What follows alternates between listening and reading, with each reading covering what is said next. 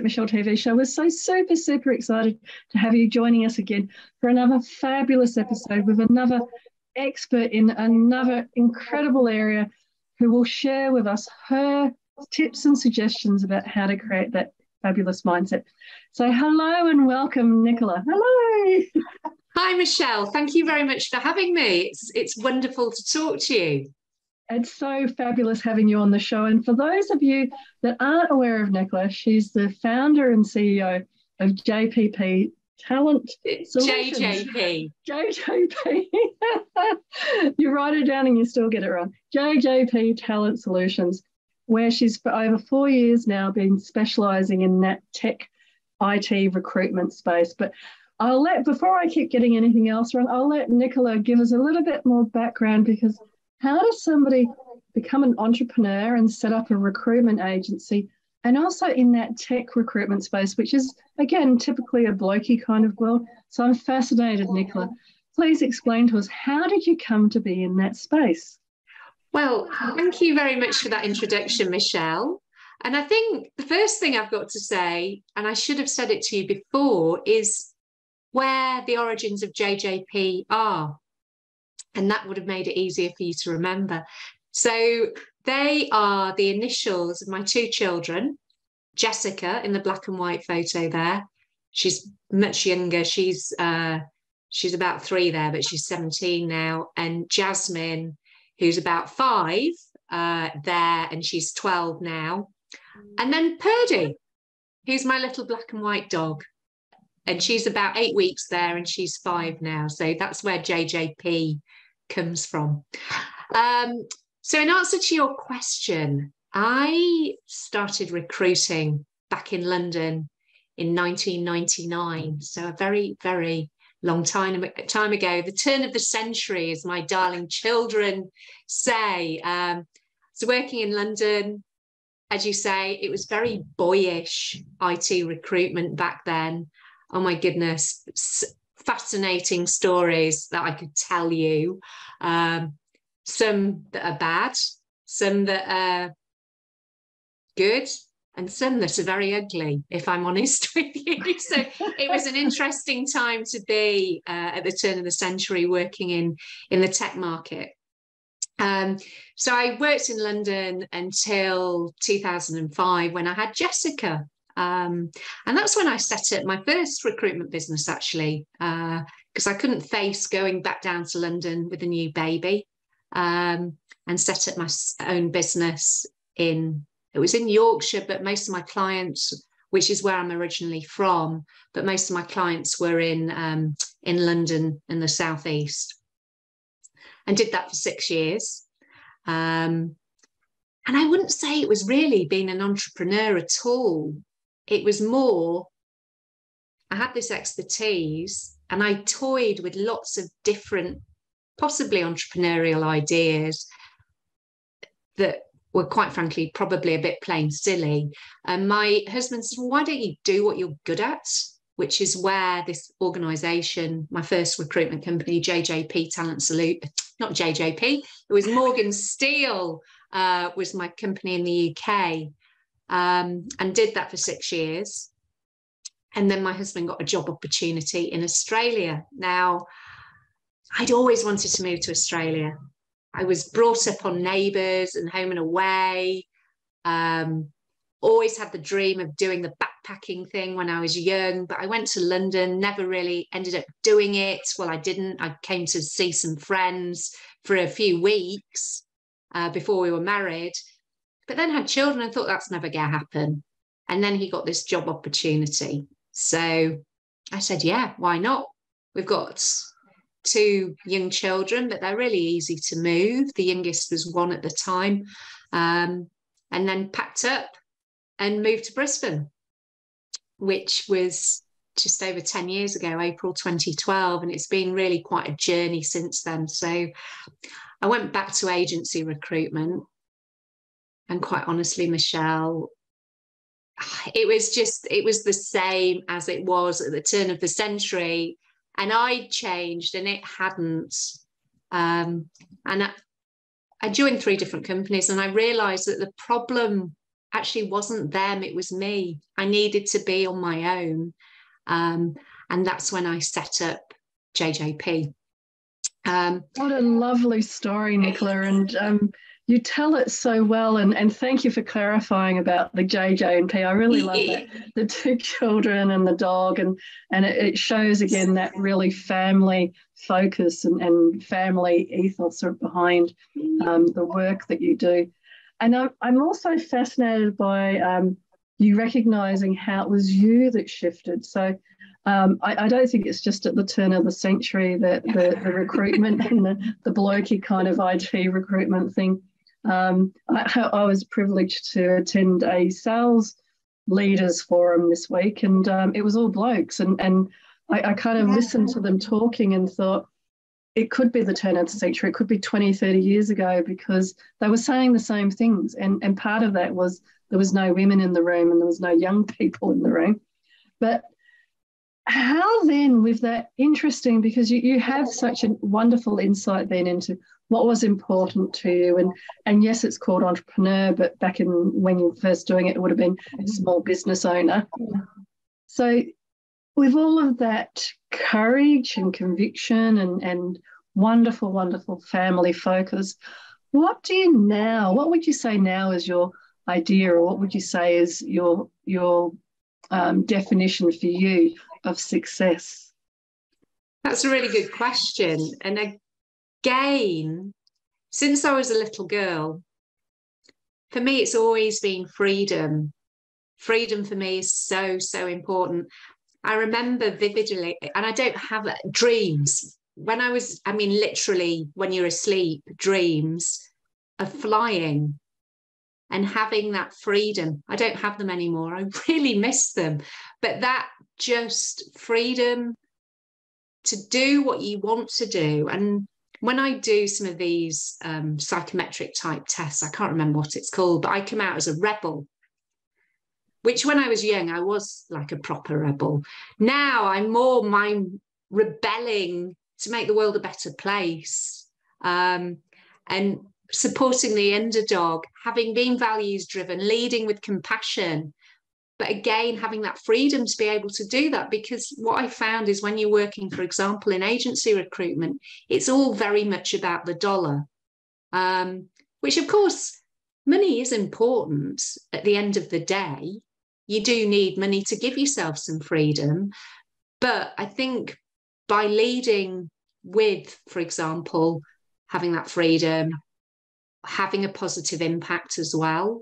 Um, that the money comes at the end of it anyway. So, and when I say positive impact, I'm talking to hundreds and hundreds of candidates, thousands. Um, I'd love to place every single one of them in the in a role. I'd be, you know, Richard Branson type rich. It can't happen, but what I can do is every conversation and touch point that I have with that person is at least make them feel better about themselves or have given them some kind of insight. So when they're dealing with me or one of my members of my team, they don't feel crushed.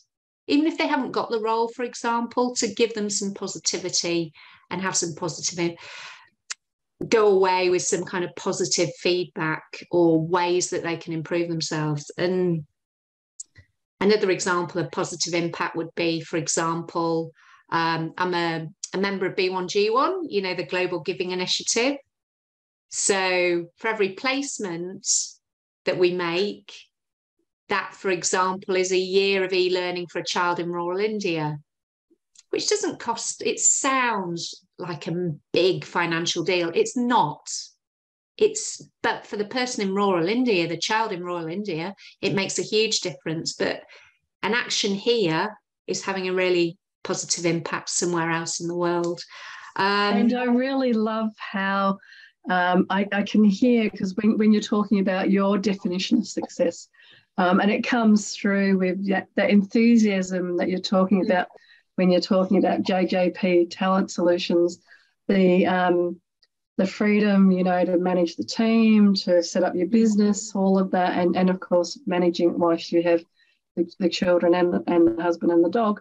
But that freedom element, I can really see for you that that that is success. You know, having the freedom to do what you want with the business and and also to direct what you're doing and what you're doing with the business into that positive impact side so that you you everything from um, making candidates who who can it can be a slog for some of them mm-hmm. feel a little bit better when they're dealing with you or your team and also with the B1G1 I, I really hear that that um, in, in terms of your business, like I said at the beginning, it, it's the family. So those sorts of family values of, of caring and nurturing for candidates, even if it's just for one or two touch points, but also taking that caring um, even further out to caring for the planet and the education of the, the child in India. What what a beautiful way of looking at success and and it's you know yes the money's there but it's not the focus for you.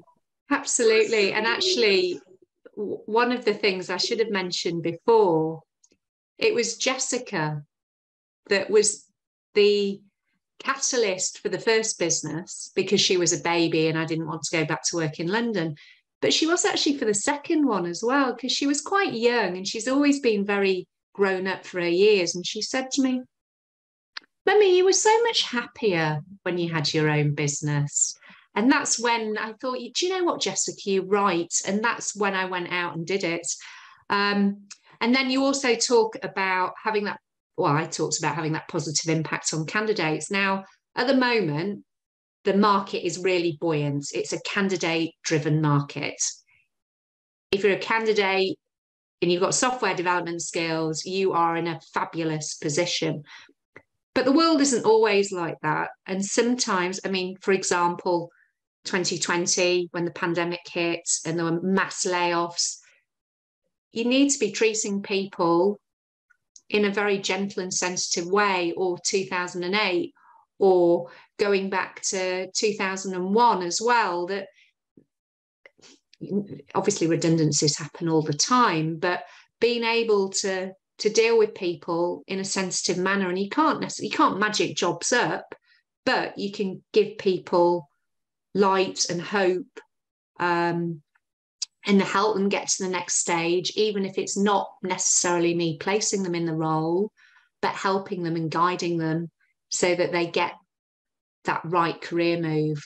Um, so I know, I think that that's very true. Um, in fact, we were talking earlier this week about somebody that we know, and and as you said, you know, the market is very buoyant at the moment, but their large global organisations still laid people off globally. So that, yeah. that unfortunately that that unemployment and that redundancy can happen whether the market's buoyant or whether the market's down and and you, you yeah.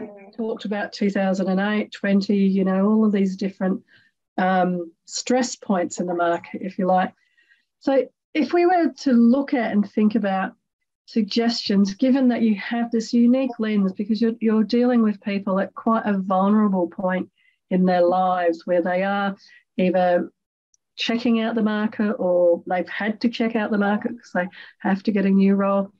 What would be some of the suggestions that you might give to people for how they can keep that positive mindset in, in what can sometimes be a bit of a difficult slog? Yes, I think the first thing I always do is make a list because then you can start being proactive and you can break it down. And that sounds really simple. Um, but also have a multi pronged strategy. So don't just sit at your laptop applying for roles on Seek. Yes, apply for roles on Seek, but don't have that as your only strategy. Talk to lots of recruiters and then work with one that you feel that you can really trust um, and that you can partner with effectively.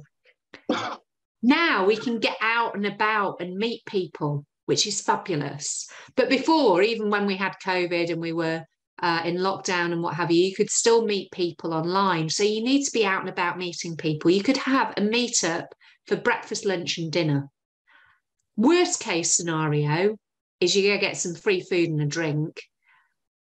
best case scenario is that might lead you to the ideal job opportunity, but you can meet some really interesting people along the way. So, my first tip is get out there. Don't just be stuck at home feeling miserable that you don't feel you're making any progress. Go to the meetups, do the networking, talk to people, um, and have those connections. I think from your general mental mindset, connection is so so important and, and also, I love that. Um, I love that point about you know, part of that making that list, and it would be around how am I going to expand my network? How am I going to connect in with my network? And for some people, you know, um, working from home all the time and, and suddenly going back out to seeing people in person again, or even if they were naturally more introverted before anyway,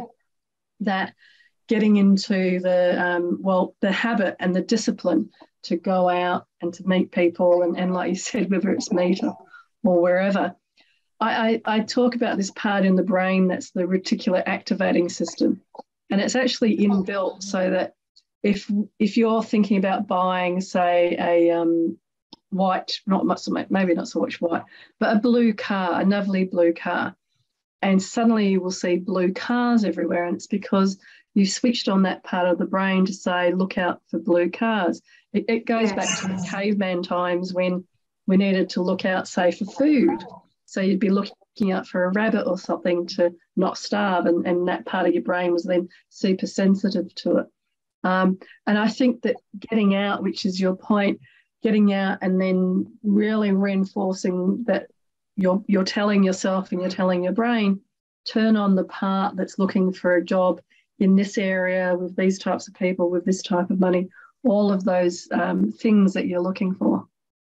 Absolutely. And i think you make another really good point there as well is that power of attraction. So if you're going out with a more positive outlook you're going to attract more positive outcomes as well. You know how you mentioned you're thinking about buying a blue car and then all you see are blue cars. But if you do have that, it's amazing how, if you have a more positive outlook, more positive things will happen. If you go with the attitude like that, and it is, it's marvelous and it does happen. And your other point, yes, we have for the last couple of years not been out and about as much. We haven't been socializing, we haven't been networking. I'm an extrovert. I love going out and talking to people, meeting new people. That I that I absolutely thrive on that. Um, but we all feel a little bit nervous, I think. Um, because we've been held away from it a little bit. So everyone's feeling a little bit like that inside anyway. And I think when you go into these networking events, don't go with an attitude of what can I get out of it? The old handing out your business card mentality is just feels extremely slimy and uncomfortable. But it's like, what can I learn or what can I give? And I don't mean physically give a gift, but what can I give to other people? What knowledge can I impart or what connections can I make? If you come from that angle, it's actually much easier because you're not wanting to take, take, take. And I think that's when it feels more unnatural and unauthentic and, and everything. So, and I think that, that that's a great point about, um, you know, we're all a little bit nervous going out now and, and um, perhaps going to the events without necessarily thinking, oh, you know, I'm going to meet somebody and they'll give me a job, etc. But you, are you, being receptive, like um, looking for the blue car. You're being receptive to what people are saying and, and suggestions. I think another lovely part of that um, that I've seen work absolute miracles is actually just explaining to people what you're doing and what that you're looking for work and suddenly people shift you, you, see it all the time they want to help and so yeah. Um, i think a big part of you know getting out there is very much around um, on social media and, and as much as you feel comfortable saying to people and you see it more and more nowadays where people are saying you know i'm looking for this type of job. If you know anybody that can help me. And it's it's coming at that with that gratitude that people may not necessarily be able to help you, but their sister, their brother, their husband, their wife, they may know somebody in that area. And, and again, it may not be a direct shift. It may be mm-hmm. you need to go into this role to then go into that role after some training, etc. But I think. Yeah, I was just going to say, you made me think about something else about connections.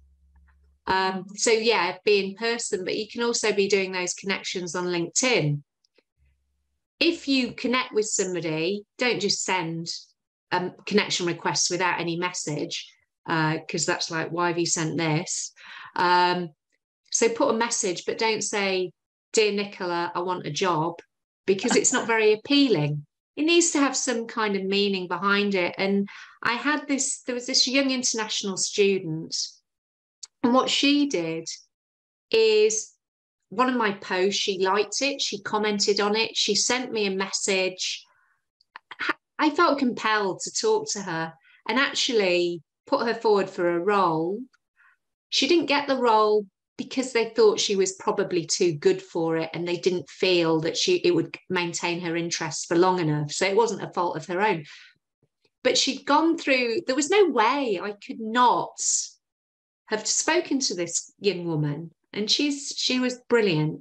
But i think the thing is again it's about giving on social media as well so she gave something by liking the post by commenting on it by that kind of reciprocal approach, which I think is really important, not going even on social media with a take, take, take attitude. Um, and most people do come with a want to help people. And even if they can't help them, as you say, directly, they'll go, well, maybe you should go in this direction. I did that today actually with somebody. He's down in Sydney. I don't have any roles in Sydney, but he um, he wants to work, he wants to work for a company like Atlassian. And I have connections at Atlassian. I don't recruit for them because they've got their own recruitment um, framework and everything. But I put him in touch and said, you know, work, help each other out and and see what you can do. So he could well get the opportunity there, or it will lead into another opportunity elsewhere. So I think again, it's going with that openness um, to help. So. Very much. You reminded me, funnily enough, um, during one of the lockdowns, I actually fostered a cat. Oh. And um, there's lots of other funny stories about fostering the cat and ending up in hospital when it bit oh, me. gosh, but, she told me that. It was it was a very very funny story, but um, one of the reasons why I remembered it is that the lady that is a cat mad neighbour um, that you know spends a lot of time and effort taking care of the street cats. She was at the time working for one of the big tech companies. It wasn't, um, I won't say the name, but it was like an Atlassian. And um, so I ended up making like this contact in, you know, one of these big tech houses so I could ask her questions about things. But it was all to do with, you know, this random cat. completely separate to you know anything and and that's where i think your wonderful point about getting out there because you just never know when you're doing life where it might lead you. Absolutely. And yeah, i am always uh, chatting to people in the coffee queue or what some people want to talk, others don't. If they quite clearly don't, or they've got their earphones in or whatever, just leave them alone. But most people do want to talk. And then when you talk to them, you actually discover something interesting. And again, it's not going with an, approach of I'm going to get something out of this conversation whilst I'm queuing for my coffee, but it passes the time and you might discover something interesting along the way. So I think always be open um, to conversation, definitely. Definitely. And I was running in a um, a, a small hub one time here in Sydney. I was running these like community get togethers with all the different entrepreneurs. And I was trying over and over to share with them about pitching for what they want. So they were very good at saying, I do this and that in my business, and these are the types of clients I want. But they left off the very last bit about pitching or asking is probably a better way of saying it, asking for what they needed in terms of help or what they wanted in terms of help. And, and like your um, young lady, there was a young gentleman there who'd come to Australia. He, he can't remember his business area now. Um, but when he was saying what he did, he didn't say anything about project management at all. And then when I explained this concept in this workshop to them and, and they got it and I mm. said and he started to talk about project management and I said, well, you know, I know project management, and I know all these people and the associations. So I gave him those mm. leads, like you were saying, for him to then make those connections with people I introduced him to, etc. But he mm. would never have even asked for it unless I was doing this class specifically on pitching on what you need next in your business or asking for what you need next in your business in that very gentle way of saying if somebody can help you know this is what i'm looking for now and not having like you're saying that expectation that somebody will do it or not. Absolutely. And i think this it's much easier. If you don't ask the answer is always going to be no. Um, so if you don't ask you don't get now, I unfortunately have also taught my children that. So, so I spend a lot of time going, oh no, I wish I'd never taught them that. But it does mean that it's going to open up more opportunities for them. Uh, I remember, I think it was one of my husband's great uncles or something, who said to me, it's easier to ask for forgiveness than it is to ask for permission which again, I don't want to teach my children that, but it is about that. If you you need to ask for what you want and not in a pushy, pushy way, that just wouldn't work here in Australia, and particularly where I am in Brisbane, people would go running to actively avoid you. But you still have to know what you want. And I think that again, that comes back down to that list that you make. Know what you actually want and you don't necessarily need a map of how you're going to get it, but you need to know where you want to go. Uh, and you might go off and veer off somewhere along the way, but have some kind of idea. Um, and yeah, sorry, I've gone off a little bit along the way. That's all right. you just reminded me of the aeroplane analogy as well, where you know, when a plane's going from A to B, it actually yeah. doesn't go in a straight line. It can go like this on its way. And um, life's journey tends to, and, and looking for work tends to be like that as well. You know, you, you might be meeting somebody for a coffee that you think is going to give you a job, but it doesn't happen. And then you, yeah. you, talk to somebody like for coffee and they say, I'll go and talk to this person. And, and so, um, very much like that aeroplane going from A to B, looking yeah. for work and life's journey tends to be more like a zigzag. That reminds me of the first time long haul flight I ever went on. Oh, it was 1997 and it cost about 50p. I exaggerate, of course, but it went from London to Nairobi to Cape Town, which if you look at it on a map is not in any way straight line but i think it was that's why it was so cheap to get there and and what have you but anyway I digress.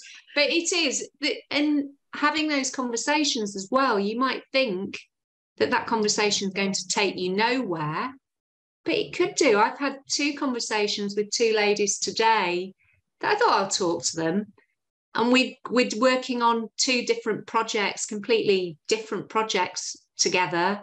Um, so perfect. It wasn't just a nice chat. It it could well lead to some success in the future. So, yeah, definitely be open minded. Definitely. Yeah, I think that that's a wonderful um, aspect of you know getting out there, making the list, and and and having that power of attraction, that positive thinking around you. So, if people wanted to um, reach out to you about roles that they may want for themselves or for people that they know in that tech space, what's the best way of getting hold of you? So I'm very active on LinkedIn, always posting this, that, and the other. Um, my LinkedIn profile is Nicola Christina Steel. So that's Nicola without an H, N I C O L A, Christina with an A on the end, Steel, S T W L, without an E on the end. I thought it was a lovely, simple name, but there are so many different ways to spell it. So Nicola Christina Steel. Um, and also the website, which is jjptalent.com.au. Jessica Jasmine Purdy is the easy way to remember it. Um, and yeah, just reach out, connect with me.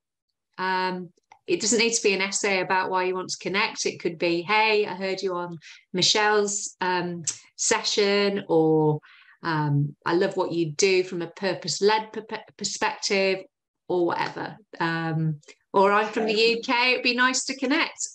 whatever you, whatever you're interested in. Or so. I'm from Yorkshire, and I want to talk to somebody in Queensland. Well, exactly. we'll have a nice cup of tea. That's it. That strong Yorkshire tea.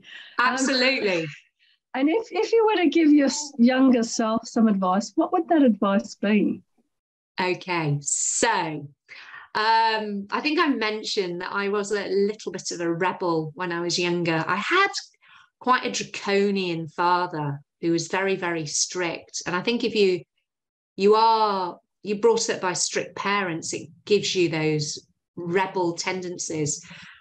So I wasn't the best student at school. I passed all my exams, but probably not as well as I could have. I went to uni, I partied hard, I had a wonderful time, have lots of stories.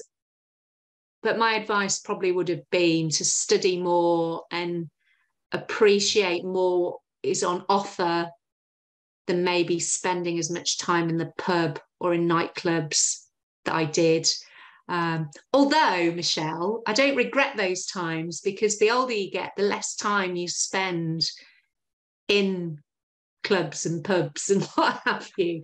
And as I say, lots and lots of stories to tell. So um, they sometimes bring a, a, smile or a giggle to to me. So, oh, yeah. fabulous! And, and I, I, can hear as well that that different theme again coming through of freedom, which if yeah. um, you had quite an authoritarian family when you were growing up, it explains and it makes a lot of sense that there was a freedom when you were younger in the nightclubs and the clubs and pubs, and then you've set it up so beautifully for yourself by having um, your own business and, and having that freedom now. But Nicola, yeah. we could talk, I know, for hours more. But thank you so much for coming on the show show today. Thank you. Well, thank you very much for having me. I know I could carry on chattering away forever, so. but um, thank you, and um, thanks for having me. Wonderful. And to all the wonderful viewers again, thank you for tuning in again to yet another fabulous session with the lovely Nicola Steel today, sharing some of her insights and suggestions for how you can create a successful mindset. But for now, from my heart to your heart, be great, be fabulous, and be you.